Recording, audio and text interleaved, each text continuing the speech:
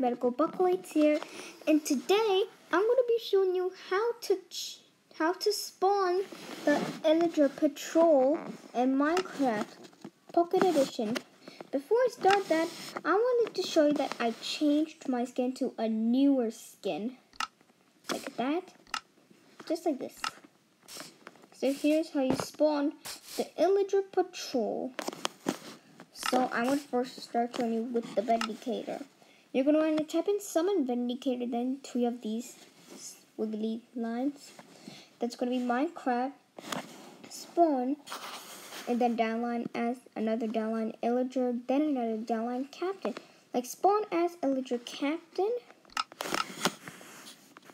And for the Pillager, it's going to be Summon Pillager the same as the Vindicator. Just like that. It's going to be the exact same. So let's hold like that.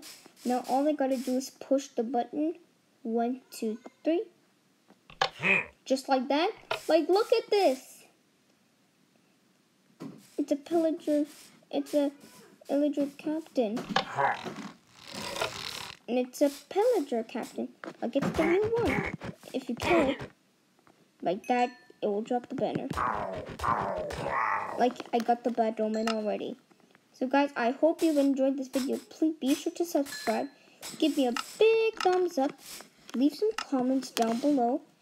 And press that notification bell so you can get notified on my channel when I upload a new video on my channel, Medical Buckle 8. Anyways, I'm going to see you next time. Bye.